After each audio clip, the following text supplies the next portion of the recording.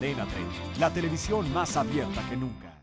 Y le cuento que en Chihuahua el cuerpo sin vida de una bebé recién nacida fue encontrado por pepenadores en el basurero municipal de la capital del estado. La pequeña se encontraba entre unas bolsas envuelta con, una cobija.